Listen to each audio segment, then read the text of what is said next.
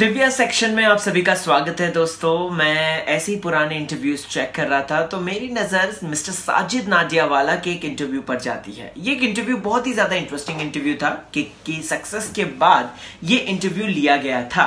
तो ऐसे में दोस्तों यहाँ पर उनसे इंटरव्यूअर पूछते हैं कि आप सलमान खान को क्या गिफ्ट दे रहे हैं? तो इस पर मिस्टर साजिद नाडियावाला कहते हैं कि सलमान खान को गिफ्ट देने की ज़रूरत नहीं है वो हमको गिफ्ट देता है। जी हाँ दोस्तों और यहाँ पर एक बात वो बहुत बड़ी ऐड करते हैं कि Salman Khan is a giver never a taker Salman Khan हमेशा देने पे विश्वास करते हैं, लेने में विश्वास बिल्कुल भी नहीं करते हैं। अगर उसका गिफ्ट देने का सोचता भी हूँ, सौ से दो सौ लोगों की आईसाइट्स को ठीक करा दे, उस प्रॉब्लम को सॉल्व करा दे।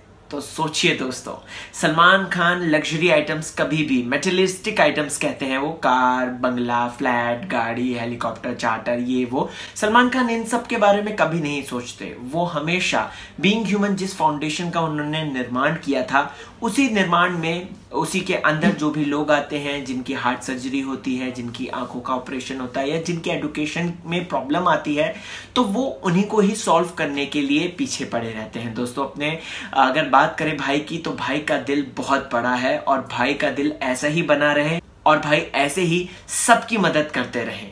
दोस्तों, आपको क्या कहना है साजिद नाडियावाला के इस इंटरव्यू के बारे में? कमेंट सेक्शन में डेफिनेटली मुझे बताएँ। और भाई के इस गिविंग नेचर के बारे में आपको क्या है कहना? सारी बातें बोल दीजिए और बने रहिए मेरे साथ। राहुल भोज आपको इसी तरह अपडेट करता रहे